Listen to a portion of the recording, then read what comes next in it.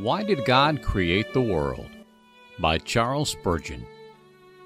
Can your minds fly back to the time when there was no time? To the day when there was no day but the Ancient of Days? Can you speed back to that period when God dwelt alone, when this round world and all the things that are upon it had not come from his hand, when the sun flamed not in his strength, and the stars flash not in their brightness? Can you go back to the period when there were no angels, where cherubim and seraphim had not been born, and, if there be creatures older than they, when none of them had as yet been formed?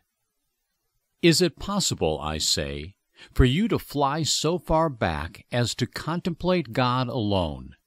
No creature, no breath of song, no motion of wing, God Himself alone, without another?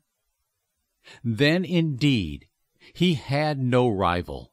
None then could contest with Him, for none existed.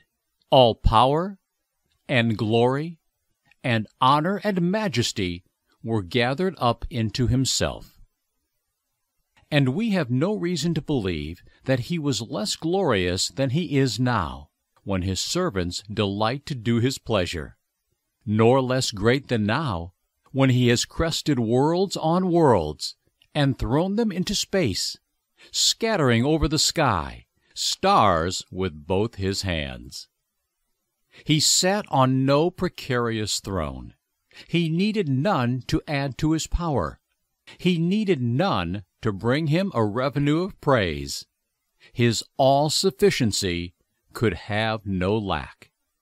Consider next, if you can, the eternal purpose of God that He would create. He determines it in His mind. Could any but a divine motive actuate the divine architect? What must that motive have been? He creates that He may display His own perfections. He does beget, as it were, creatures after His own image that He may live in them, that He may manifest to others the joy, the pleasure, the satisfaction which He so intensely feels in Himself.